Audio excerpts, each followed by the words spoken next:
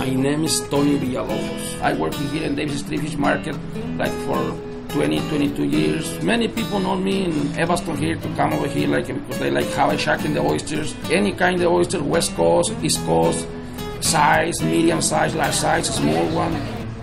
Many kind of different oysters. You got many flavors. This is my soul. Davis Street Fish Market in downtown Evanston.